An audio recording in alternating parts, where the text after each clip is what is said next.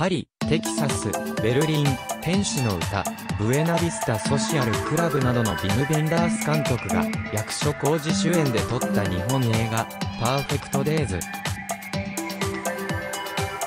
昨年12月22日に東宝シネマズシャンテをメイン館として全国公開され、興行収入8億円を突破。米国の第96回アカデミー賞、現地時間3月10日の国際長編映画賞にノミネートされ、受賞への期待が高まっている。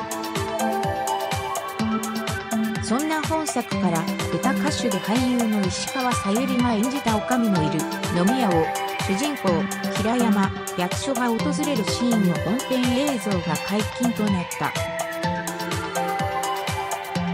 東京渋谷の公共トイレの清掃員として働く平山の日々を描き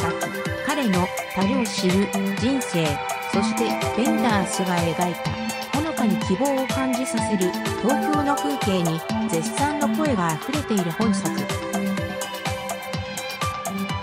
慎まやかな生活の中でささやかな楽しみを大事にする平山がたびたび訪れる飲み屋のシーンは公開後反響の大きかったシーンの一つでもある。